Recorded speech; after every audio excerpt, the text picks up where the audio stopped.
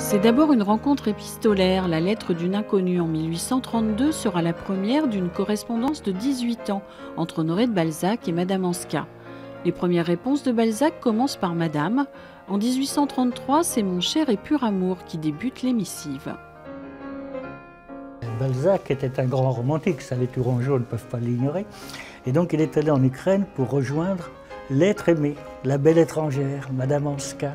Ça a commencé en 1833, son apothéose en 1834 et finalement c'est en 1949 qu'il est allé en, Ukraine, pour la première fois. Il a fait deux voyages en Ukraine. C'est Sergei Tarasov qui a photographié les voyages réels ou possibles au palais de Madame Anska à Verkivnia, à Bertitchev et Kiev, des lieux de l'ancienne province polonaise et d'Ukraine.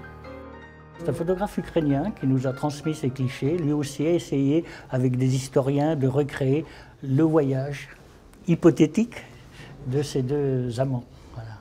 Plus qu'amants, puisque se sont mariés à l'occasion du deuxième voyage, en 1850, quelques mois avant le retour en France et le décès de Balzac. Balzac en Ukraine, c'est la première exposition qui débute les festivités du 220e anniversaire de la naissance de l'écrivain, une exposition à découvrir jusqu'au 14 avril au château de Tours.